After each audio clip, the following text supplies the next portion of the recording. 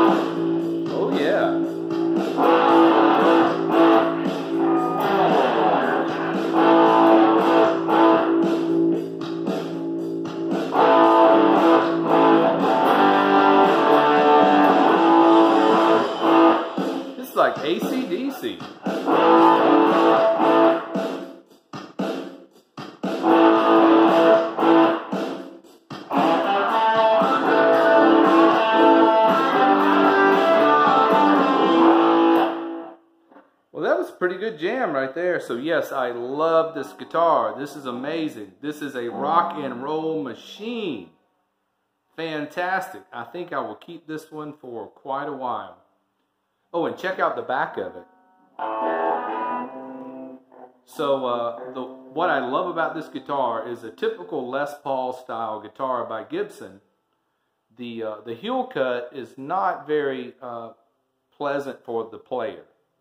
But what they've done here with the uh, this is this guitar came in from Germany, and they they beveled off the the heel here, where the neck meets the body, and you can actually reach the higher frets much better with this design. Man, I love this. This is fantastic. So uh, let me uh, let me kill the uh, the volume here. So this. So what you have here is this is a very typical prototype Les Paul style guitar.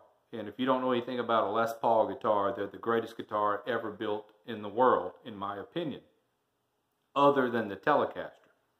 So you got uh, three on three style tuners. These are the old vintage tuners, which I like better.